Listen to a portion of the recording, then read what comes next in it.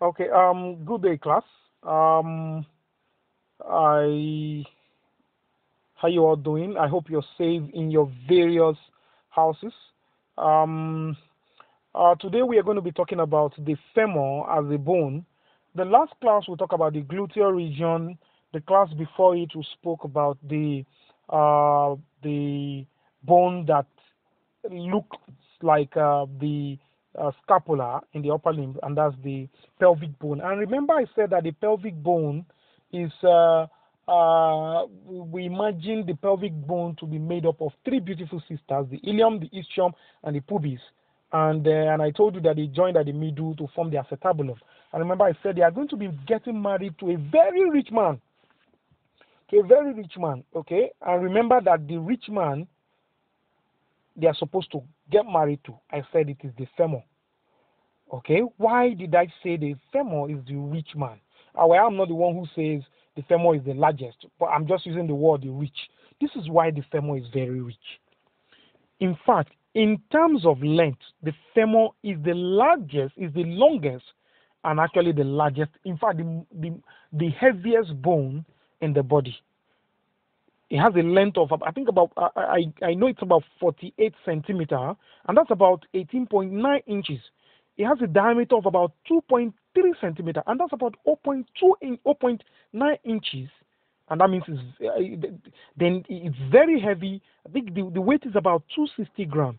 So, and apart from that, you know, the, the, the femur has forms a joint with the acetabulum superiorly, then the tibia inferiorly. So since it moves body weight from the hip bone to the tibia when in upright phase, it means that the femur can actually support 30 times the weight of an adult. What this means is that if you, you're standing, you can actually carry 30 people and the femur will still be able to uh, hold you guys. Well, um, being a long bone, we all know is a rich person. Uh, so let's talk about it as an individual. Well, being a long bone, you know it's going to have a proximal part. It's going to have a proximal part, a dist, a, a, a, shaft, and of course a distal uh, part. So we are going to be talking about the proximal part first. So I am going to be making use of the labeling so that this whole um, image will not be filled with red ink. Now it has a proximal head. It has a in the proximal part. It has a head. It has a head. It has a neck, and it has two things that looks like the tuberosity in the upper limb. But this time around, we are not going to be calling them the greater and the lesser tuberosity. We are going to be calling them the greater and the lesser trochanter. The trochanter, the greater and the lesser trochanter. So Let's talk about them individually. Let's talk about the head. The head of the femur actually makes makes up the two-third of its round nature, and it is actually covered by a cartilage. It's covered by articular cartilage, except for a small part in the middle called the fovea, or what some people will call the pit. Okay, this is actually for the ligament of the head to pass through and you know the ligament of the head actually um, uh, gives passage to artery of the epiphysis of the head in early life actually. Now it has a neck too. It has a neck. Now this neck is actually trapezoidal and it has a superior part that is narrower than the inferior part. The superior part is narrower while the inferior part is actually broader. Okay, so let's clean that up. It has two brothers. Okay, it has two brothers. We're going to be calling that trochanter. It has a greater trochanter, and we are going to we also have a lesser trochanter. So let's talk about the smaller one first. Okay, let's talk about the smaller one first. Uh, the actually the lesser trochanter is conical and rounded in nature, and it extends medially from the posterior medial part and gives attachment for the iliopsoas muscle.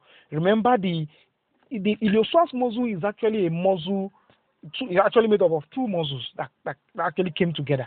The iliacus and the psoas uh, uh, uh, major muscle. That's why we have it as the iliopsoas. Remember the iliac uh, uh, iliac fossa in the ili ilium? Well, that's where the iliacus uh, is coming from. Now, we also have the greater trochanter here. So let's have a greater trochanter here. Actually, the greater trochanter is bigger. It's actually larger than the lesser trochanter. Okay, and it is laterally placed and extends superiorly and of course posteriorly. And it gives attachment for abductor muscles abductor muscles, ABD, abductor muscles. And you know abductor muscles from uh, previous uh, classes. We mentioned gluteus maximus, gluteus medius, gluteus minimus, and the tensor fascia lata. Well, the greater trochanter also gives attachment for rotator muscles. And you know we have two types of rotators. We have the lateral rotators and we have the medial rotators. Well, the lateral rotators are actually the. Let me refresh your uh, memory. We have we have the piriformis, the superior and inferior gemellus muscle, the obturator internus, the quadratus femoris, and the obturator externus.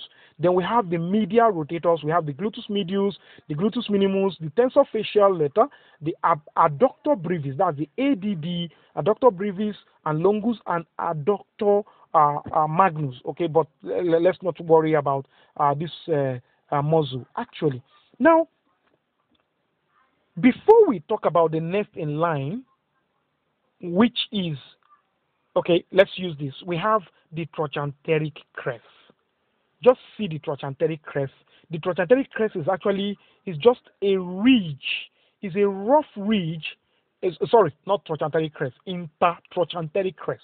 Some people call it trochanteric crest. Okay, so intertrochanteric crest. So it's actually a prominent uh, uh, uh, um, uh, is actually a, a, prominent smooth ridge that joins the trochanter posteriorly. Don't forget that this is the posterior aspect of the femur. So this intertrochanteric crest joins the two trochanter posteriorly. There is another one that joins the. There's another ridge that joins the uh, uh, uh the two trochanters anteriorly is called the intertrochanteric line. Let me show you before we come back to this. Um, uh, uh, uh, okay, just hold that thought. I will still show you because most of the information that we want to talk about is here in the posterior aspect. So let's not move. Just know that this intertrochanteric uh, uh, crest, okay, here joins the two uh, posteriorly. But if you view this femur anteriorly, we are still going to be having something that looks like it, this too, that joins the trochanter anteriorly. Okay, so uh, that's the trochanteric, uh, intertrochanteric line and the intertrochanteric uh, uh, uh, uh, crest. Okay, let's talk about the um, the spiral line. The spiral line, as you can see here, the spiral line, as you can see here, is a smaller ridge and a continuation of the intertrochanteric line. So it is a continuation of the intertrochanteric line. The intertrochanteric line is coming here.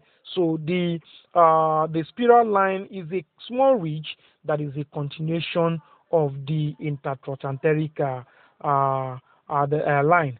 Then we also have um, uh, what we call the quadrate tubercle. The the the the the, the quadrate tubercle is just an elevation. See, the intertrochanteric crest has an elevation at the mid part. This elevation has a name, and the name is called the quadrate tubercle. So the intertrochanteric crest, intertrochanteric inter, uh, crest has an elevation called the quadrate tubercle, and it also has a continuation inferiorly called the spiral uh, line. Well, well, that's good. So the greater trochanter, the intertrochanteric crest, has an elevation, the quadrate tubercle, and also has an extension inferiorly called the spiral line. Well, the greater tuberosity, or sorry, the greater trochanter has a depression. Has a depression at the base of the medial surface of the greater trochanter. Okay, there's a there's there's there's a there's a there's a depression there called the trochanteric fossa. So around the trochanter, we have mentioned the greater trochanter, the lesser trochanter, the intertrochanteric crest, the intertrochanteric line anteriorly, then the spiral line, which is a, an inferior continuation of the uh, of the intertrochanteric crest, then we also mentioned the quadrate tubercle, which is an elevation at the central part of the intertrochanteric crest. Then I also mentioned the uh, trochanteric fossa, which is a, a, a, deep depression at the base of the medial surface of the greater uh, uh, uh trochanter. Uh, well, um, eh, now that we have done we have done justice to the superior part, the proximal part, uh, let's deal with the shaft. Let's deal with the shaft. Actually, um, uh, the shaft is actually convex anteriorly, and um, don't forget we are viewing the posterior. This is the actually the posterior view of this bone. Okay, uh, so anteriorly the shaft is actually um, uh, convex and it gives origin to extensors of the knee. But let me not bore you with this muscle. Now, what, what is the first thing we are going to see in the posterior aspect? Uh, there's something called the spiral line. The, the, no, sorry, the, I will talk about the spiral line. There's something called the, the, the, the linea aspera. The linea aspera is supposed, well, the labeling is not here right now. The linea aspera is here right now, okay? So the linear, there's a linea aspera. The linea aspera spelling that should be L I N E A A S P E R A. That's the linea aspera. It's actually a vertical ridge, really, located posteriorly, and it provides aponeurotic attachment for adductors of the thigh. We'll get to that later. I don't want to bore you with this muscle. Adductors, that's the ADD, adductors of the thigh. Okay, it is actually prominent in the middle third and has a medial lip and that continues as a narrow, rough spiral line. So, uh, uh, uh, uh what I'm saying in essence is that this uh, this uh, linea aspera has it continues superiorly. It continues superiorly to join. Remember the the spiral line that is a, a downward continuation of the intertrochanteric crest. Well, the linea aspera also have uh, a, a, a, part. It also have um, uh, uh, it has a, a medial lip that continues with the spiral line. Okay, it has a medial lip that continues with uh, uh, the spiral line, and of course, it also has a lateral lip that blends with uh, the broad rough gluteal tuberosity. Okay, so there's a gluteal tuberosity here, but we are still going to talk about that. Okay, so this is the gluteal tuberosity here. So the uh, the linea aspera, which is supposed to be here, has a medial lip superiorly and a, a, a lateral lip superiorly. So the medial lip is actually uh, uh, uh, sorry, the lateral lip uh, blend with uh, the gluteal tuberosity, while the medial lip uh, blends with uh, the the spiral line. Okay, we also have something called the pectineal line. The pectineal line. There's also something called the pectineal line. It's actually a, a, a prominent intermediate ridge that extends from the central part of the linea aspera. It extends from the central part of the linea aspera to the base of the lesser trochanter. So it is actually a little bit inferior uh, to the uh, to the spiral uh, line. So it's a prominent intermediate ridge uh, coming from the central part of the uh, linea aspera down to the, the lesser border, that's the lesser uh, uh, Then we also have the um, supracondylar uh, line. Okay, we have the supracondylar line. Okay, okay, yes, I can. Uh, okay, I forgot to show you. I can see the lateral lip of the linea aspera and the medial lip of the linea aspera here. So one goes here, one goes here. Okay, one goes there, one goes. So we have the medial lip uh, and the lateral lip, the lateral lip and the medial lip there. Okay, so uh, of course they extend um, uh, down. Okay, uh, okay. Sorry, I wanted to talk about the supra condylar line. It's actually located at the lower shaft, and this is formed by the medial and the lateral division of the linea aspera. So, in other words, what I'm trying to tell you is that the linea aspera is located here. Superiorly, it has a lateral lip, it has a medial lip. The lateral lips joins with the spiral line, while the medial lips uh, blends with the gluteal tuberosity here. Now, inferiorly, the lateral line becomes the sorry, the medial line, the medial uh, lip becomes the uh, medial uh, supracondylar line, while the lateral lip becomes the uh, lateral uh, supracondylar uh, line. Okay. Then we of course we have the the femoral condyles. What we have here, we have a medial condyle and it has we have a lateral condyle. We have a medial condyle. We have a lateral condyle. Don't forget we also have the epicondyle because the supracondylar line we also go ahead to lead to what we call the uh, medial epicondyle here. Okay, just like we have the medial epicondyle and the lateral epicondyle of the of the uh, humerus, we also have the medial and the lateral epicondyle uh, here. Then we have the uh, the medial condyle and we have uh, the lateral condyle. As I was uh, telling you, they are actually both separated posteriorly and inferiorly by a depression called the uh, intercondylar fossa. Okay, let me clean this up so that we won't have a lot of red ink here. Okay, so um, it is separated. These two condyles are separated by depression here called the intercondylar um, uh, uh, uh, fossa. Actually, uh, but they merge anteriorly. It is only separated posteriorly by this intercondylar fossa, but they actually merge anteriorly. Uh, and once they merge, they, they, they create this shallow longitudinal surface called the patellar surface. And this is for articulation with the patella. Remember the patella, one of the sesamoid bone in the body. Well, we will talk about uh, this big boy uh, when we want to talk about the the knee joint.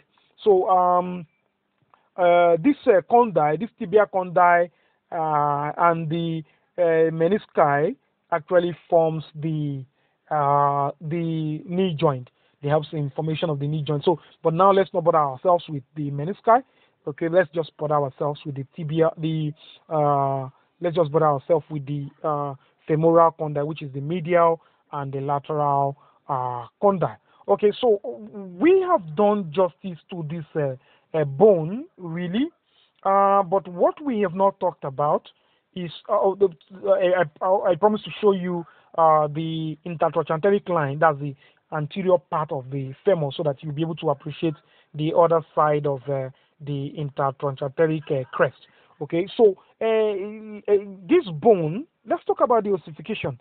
there's something some texts don't bother talking about the ossification, despite being a rich man. Despite being a rich man, the femur is not the most senior it's funny, I know, right? Uh, the, the femur is not the most senior. What I mean by that is that it is not the first long bone to start ossification. It's not the first long bone, to, and you know ossification is like maturity. So the femur is not the first long bone to start ossification. Remember that little bone in the neck, or when we're talking about the first bone we talked about in the upper limb, that is the clavicle. Yes, yes, it is actually that little guy that takes the crown, really. So the femur is not the most senior. The, the, the clavicle is actually the first long bone to actually start ossification. So, um, but let's not uh, uh, bother about that. Well, actually, the femur ossifies from five different centers. It's ossified from five different centers, uh, but the process starts in the shaft in the seventh week. Okay, it starts start in the shaft in the seventh week, then in the head around the six months after birth, then the sorry sorry about that the head actually. Uh, the head okay uh, that's around this six months after birth. Then then the greater tuberosity uh, the, sorry the greater trochanter i think that's about uh, in the fourth year while the lesser uh, uh, is actually uh, in in in female it is the 12th year while in in male i think it's some texts will write 13, some will say 14. Okay, so let's just have it at uh, 12, uh, uh, 14, uh, 13, 14 year in male. Then the lastly, uh, then we now have uh, not lastly actually, not in that order. Then we have the distal end. That's about the ninth month really. Okay, the distal end. That's the ninth month. Now, um, what you need to know that is important is that the epiphysis actually fuse independently. It means that the lesser trochanter soon after puberty, followed by the greater trochanter, then we have the capital epiphysis that fuses in the 14th year in females and the 17th year in males. Then, uh, of course, let me not also bore you with all those, okay? Just uh, it's okay for us to know about this uh, anatomy, basic anatomy of uh, uh, the humerus. Then there's another knowledge that is actually very important. Of course, I know this is a general knowledge that we've we kept on uh, talking about in class. Now, knowledge of the site of the growing end of a long bone. It is very important. I keep saying this all the time. It's actually very essential for uh, you know uh, applied anatomy for clinical application. Take for example, remember uh, when we said uh, above the knee amputation in children is might not really cause any problem, but when you amputate the child in above above the elbow, then the upper the humeral upper epiphyseal line could continue to grow and the elongating bone may push its way through the stump and requiring reamputation okay?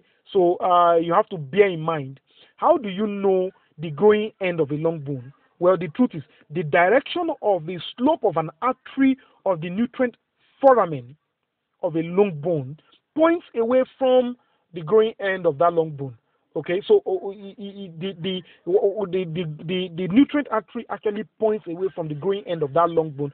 I kept on saying this in the class. And remember that phrase that I, I even uh, had uh, to set in your uh, mock exam and in your first incos. I said, uh, uh, remember the to the knee I grow, from the elbow uh, I flee. Okay, so it, is another way to actually know the growing end of a long bone is the epiphysis of the growing end of a long bone actually is actually the first, I think, the first to appear and the last to fuse with a diaphysis, except the upper, the, the, uh, except the upper part of the fibula that does not uh, uh, appear first. Okay, let, us not bother with this knowledge. Okay, just bear in mind that the growing end of a long bone is actually important. Let's not bother with uh, uh, knowledge. Now, there's also something that we need to bother with. Okay, let me before I move on, let me uh, show you the spiral line. You know, I promised to show you. Uh, uh, sorry, the the um.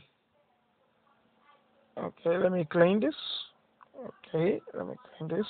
Remember, I promised to show you uh, the intertrochanteric line anteriorly.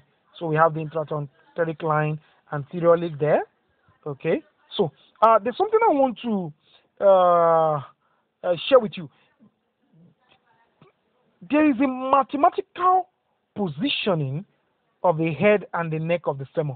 Remember, I told you it's it's amazing how uh, the, the, the body is created. It's actually an act, an an art actually. Uh, let me show you something. Let me show you something. Let me show you something. Um, uh, I think this. Okay, look at this. Look at this. There's an angle formed by this really right now. Okay, we have this and we have this. Now, it's called the angle of inclination. The angle of inclination. The angle of inclination is actually between, I think, between 126 degree uh, to about 128 degree in adult really. Now it is formed by the meeting of the axis of the shaft the axis of the shaft with the long axis of the neck with the long axis of the neck and the head of course. Now in other words the long axis of the head and neck is superior medially at an obtuse angle to the shaft Okay, so it's superior medially at an obtuse angle to the shaft. Now, this angle is more in newborn. I think it's, a, it's greater than 130, 135. I think 135 in newborn. However, it will remain lesser in female because of the increased width between the acetabulum, due to wider pelvis. Okay, we'll talk about later. Women tend to have wider pelvis, okay, and the obliquity of the shaft. So this angle is actually lesser in females. So you expect this angle to be higher in male. Now, this mathematics is actually very important. Why? Because it makes sure that the head and the neck are more perpendicular to the acetabulum. Hence, it permits mobility of the femur at the hip joint. So this angle actually helps the stability of that joint. So that is why this mathematics is actually very important. But you know, just like in every relationship, one one person must actually, you know, bear the brunt. Okay, it's actually uh, this relationship is uh, is very important in in bipedal walking. You know, you know the early men actually walked on on four legs. Okay, they walked on four legs, and later on, uh, then they, there's now bipedal walking. But just like someone actually will bear the bronze in this relationship, okay, this angle is actually important in bipedal walking. We've already said it, and it actually helps stability of this joint. But there's a problem. Uh, the neck in all this union right now, it is the neck that suffers it. it is the neck that suffers this union. Okay, because um, all this effort actually imposes uh, a lot of strain on it, and it might actually lead to its fracture. Uh, that's why you notice most of these things in older people, especially when they have the osteoporosis. Uh, uh, there's also another uh, knowledge I would like to uh, share, another applied anatomy I would like to share with you. Um, speak. There's a lot of them, but uh, because of time, I will only be sharing. Uh, okay, so there's something called coxa valga, coxa norma, and coxa vara. Now, the coxa vara, let's talk about the coxa vara.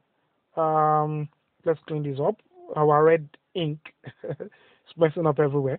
Okay, um, uh, let's talk about coxa vara right now. Coxa vara is when the angle of inclination Remember, the angle of inclination is the angle, an obtuse angle between the neck and the uh, axis between the neck and the head, between the uh, uh, the the shaft of the humerus and the neck and the head, of course. Okay, so uh, now if this angle is actually uh, uh, decreased to like 110 degree between 110 degree to 120 degree, we say the person is having coxa vara. Okay, so what this does is that it will limit uh, abduction of the hip since uh, it shortens the lower limb, of course. So you know once this angle is uh, uh lower, it will shorten the lower limb. So definitely it, it will cause uh, uh, passive. it will limit a passive abduction of the hip. But when this angle is actually increased, that is when it is more than the when it's more than 139, 140 uh, degree, we call it coxa valga. Okay, and this might actually be altered eh, by a lot of things. It might actually be caused by a lot of things like age, sex, eh, diseases, and uh, so many things. Even even uh, okay, let's just leave it at that. Okay, so in short, what I'm trying to say is that uh, uh, vara is when the angle is increased why uh, coxa is when the angle is actually decreased. But this is actually normal here.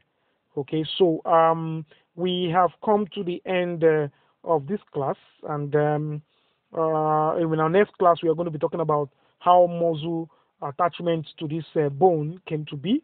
Okay, so uh, um, uh, stay safe okay? Wash your hands. Remember to wash your hands. Stay safe in your house okay? So no matter how boring everything it is everything is right now uh, things are going to be changing very soon okay? So wash your hands regularly. Stay safe okay? Don't go anywhere. Stay in your house okay? Okay? So all right. You guys should take care of yourself. Thank you